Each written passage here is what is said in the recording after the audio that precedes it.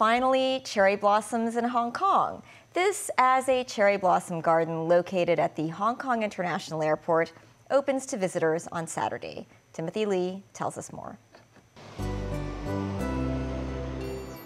A sea of pink petals and greenery. This view can be found at the Hong Kong International Airport's Cherry Blossom Garden, located on Chek Lap Kok South Road. Owing to warmer weather a few days back, the blossoms had an early start, with at least one third of them having already bloomed. The early arrival of the cherry blossoms served as a send-off to the cold weather and a symbol for the start of Chinese New Year. Visitors can arrive at the garden after a 20-minute walk from the Tung Chung MTR station.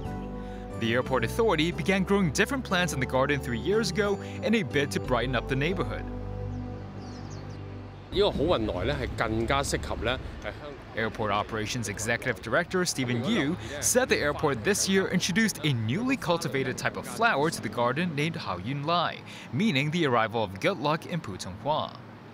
He said he hopes the upgraded design of the garden can attract more visitors eager to take photos. Timothy Lee, TVB News.